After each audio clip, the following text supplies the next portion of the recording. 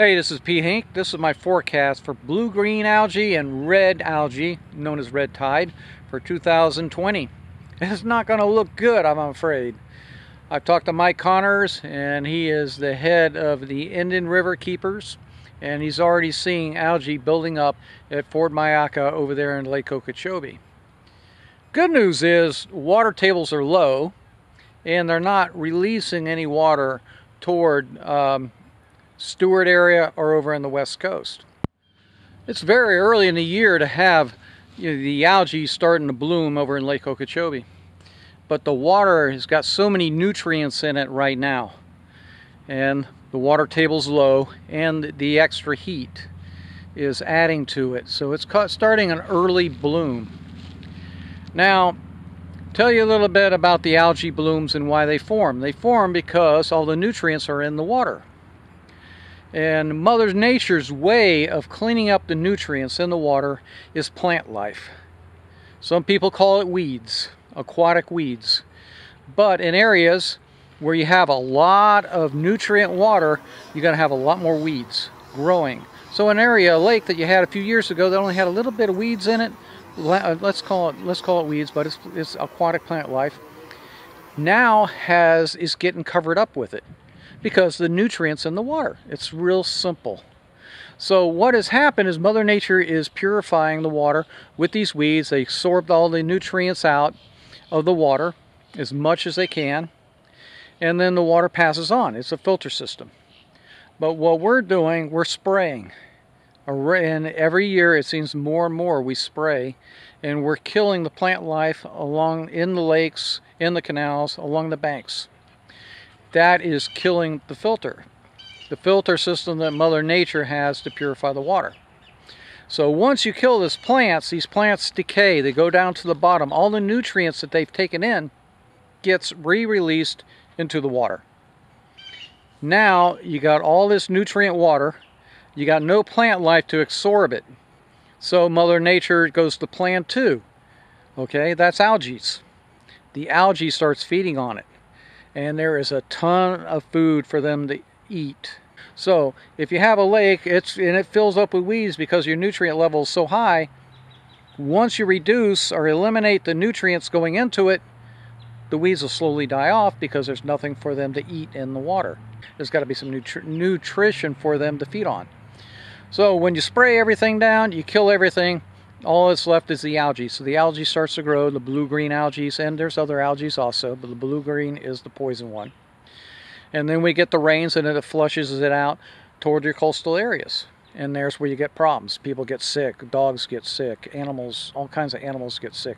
And we know about people, we know about animals, but think about all the wildlife that don't have a choice. The deer, you know, the turkeys, the ducks, the waterfowl, and the, uh, the fish it does affect them also.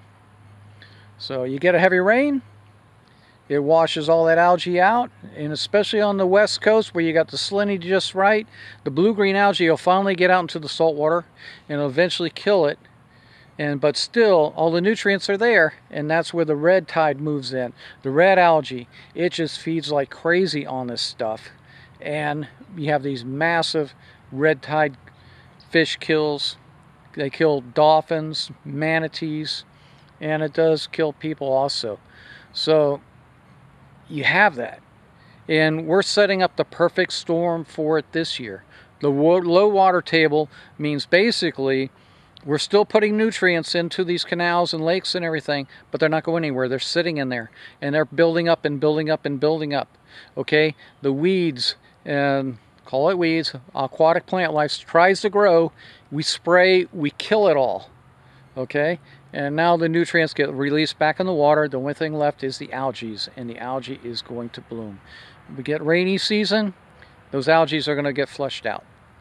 So it's not a pretty picture. So let's get to what we can do to solve the problem. First, understand what the problem is. Is it the algae? Is it the weeds? No. It's all the nutrients that we putting into the water, whether it be fertilizers, over fertilizing, it be farmed from farm fields, cane fields, it could be from sewers, it could be from cattle fields. All that adds to it, but we need to reduce it to a point where Mother Nature can filter it through weeds. Guess what? If the lake fills up with the weeds all the way, well, it needs to be that way. Okay? Once the nutrition, uh, once the once it takes all of the uh, nutrients out of the water, the weeds will slowly die off. It's simple math. But for 2020, I don't look for a good year as far as water quality. Look at the lake behind me. This lake's been here 40 years or so. Yeah, there's a bunch of weeds around my my yard. I mean, you look out in some areas, it goes out 20 feet or so. But if you look in these weeds, it's not just weeds. These weeds are holding fish. You know, they're holding a bunch of baby, baby fish. They've got ducks in there. Uh, there is uh, bass in there. Um, you see all kinds of bird life, all kinds of wildlife nesting along the shoreline. And it's a nursery area for all these this, these these animals. And when you spray it and you kill it, and you got a lake that's just got nothing but grass right to the lake, and then you got nothing but sand. There's nothing there for the wildlife. There's nothing there to help them. So it's not a good thing to spray the weeds. You know, let Mother Nature clean the water. Give her what she needs to do it. She'll do a better job than we could ever do. Okay? And if she needs to fill the, fill the lakes up with weeds, so be it. This is where we're going to. Otherwise, we have to deal with the red tide and the blue-green algae because there's nothing there to control it.